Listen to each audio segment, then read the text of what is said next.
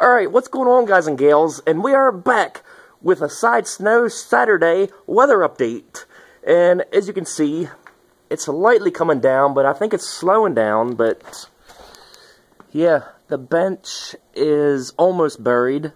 You can see the car's literally buried. You got the rolling hills there going through there, and it's quiet. Usually here you hear trains and 81. There's the big warehouse over there they just built. So let's get out the stick and see. Our previous record here, since I've been living here, was 23 inches. And that was back in 2010. Up. Ah.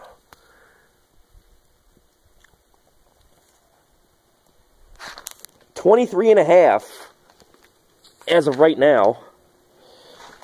Damn, when is this ever going to stop? And, and, I don't even have a snowblower. That's the sad part. So, tomorrow, the digging out process is going to blow dogs for quarters.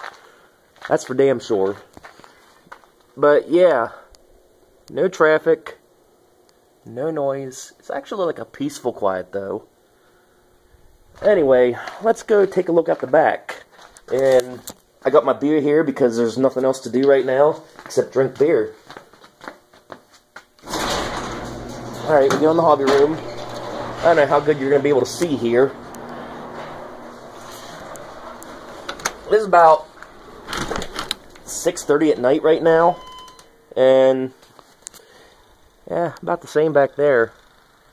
Here's snowblower. But, yeah, I figured I'd give you a little weather update here. And, yeah, we'll see you later.